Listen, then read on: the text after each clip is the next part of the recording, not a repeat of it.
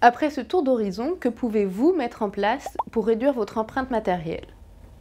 Techniquement, vous pouvez mesurer grâce à l'analyse de cycle de vie.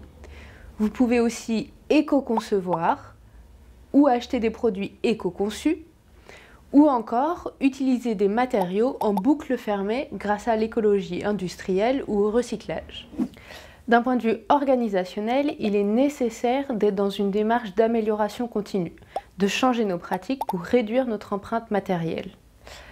Vous pouvez aussi coopérer sur le territoire pour mettre en place une écologie industrielle, des systèmes de mutualisation ou de réemploi. Enfin, vous pouvez aussi repenser votre modèle économique à l'image de l'économie de la fonctionnalité et de la coopération. Mais avant tout, la meilleure solution est la sobriété.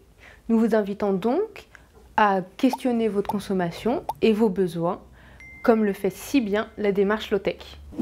Avec ces solutions techniques, organisationnelles et votre sobriété, vous avez toutes les cartes en main. Il n'y a plus qu'à.